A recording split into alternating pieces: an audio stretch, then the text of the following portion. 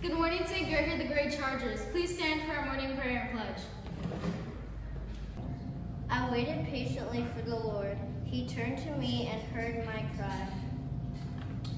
Have you have your parents ever told you to be patient? It's hard to wait for things we want, but we want to trust we want to trust that our parents know the best time to give us things.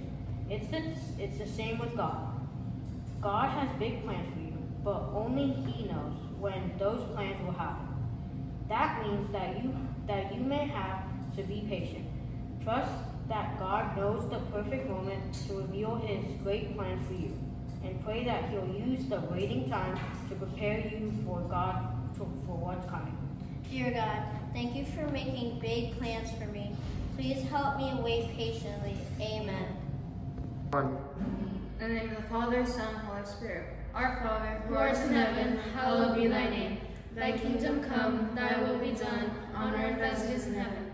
Give us this day our daily bread, and forgive us our trespasses, as we forgive those who trespass against us. And lead us not into temptation, but deliver us from evil. Amen. Hail Mary, full of grace, the Lord is with thee. Blessed art thou amongst women, and blessed is the fruit of thy womb, Jesus. Holy Mary, Mother pray for us sinners, now and at the hour of our death. Amen. Glory be to the Father, to the Son, to the Holy Spirit, as it was in the beginning, is now, and ever shall be, world without end. Amen. Please face the flags for the pledges. I pledge allegiance to the flag of the United States of America and to the republic for which it stands, one nation, under God, indivisible, liberty and justice for all. Honor the Texas flag. I pledge allegiance to thee, Texas, one state, under God, one indivisible. Please be seated. Good morning. Today's forecast is going to be sunny with a high of 89 degrees. What's for lunch, Oliver? Today's lunch menu is chicken fried chicken. You can also order a hamburger or a cheeseburger, pizza or a salad. Whose birthday is it today, Oliver? Today we celebrate Jonah Retta and Macy Salazar's birthday, which were both on September 8th. Happy birthday, Jonah and Macy. What's happening with Charger Athletics, Mauricio?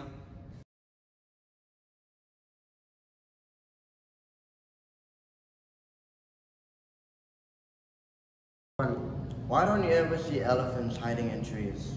Because they're so good at it. One.